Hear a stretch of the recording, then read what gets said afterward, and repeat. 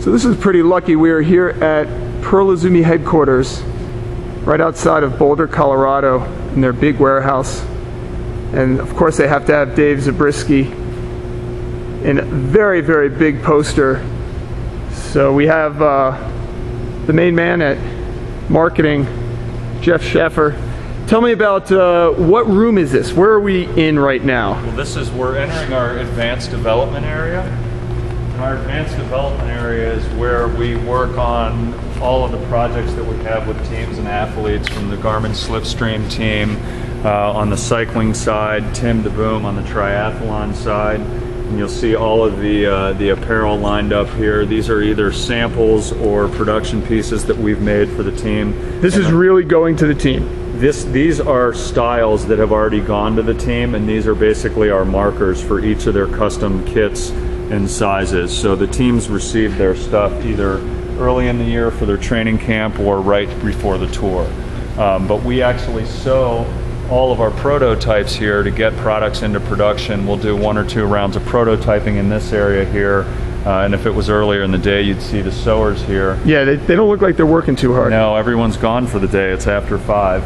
Uh, and this group of people actually sewed all the uh, all the, the speed suits for the tour uh, for the Garmin team by hand right here in our office here in Louisville. Wow.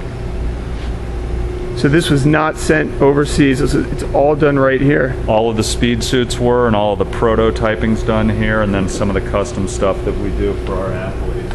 And guys like David Millar and um, Tyler Farrar, those guys all come here they, all- get kitted out all in They here. all came here in November, and we're all sized. We got custom sizing on all of them, and we developed patterns based on those uh, those meetings that we had with them here in November when they did their team kit. Now, here's an example of a custom kit that we did for Tim DeBoom, who's an athlete that we work with. Um, this is a first prototype, but this is Tim's custom kit that he races in this year. And you'll see some of the technology, uh, aero fabric panels, for example, in the legs of this short, which we used in the in the Garmin kits, has come over into triathlon and as well as into our, our production pieces now. You've got some pretty hot shot triathlon suits coming out onto the market. Triathlon is something Pearl Izumi is very much getting into. How could you sum that up? Um, it's a it's a big emphasis for us going into spring 2010, which is the product line that we'll be launching um, in December. Uh, we've redone the triathlon line from head to toe.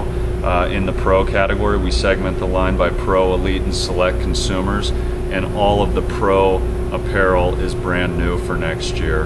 Uh, that kind of syncs up with some of the things that we've done with Tim, and that's been a major driver in kind of how we drive innovation here. Very cool stuff here.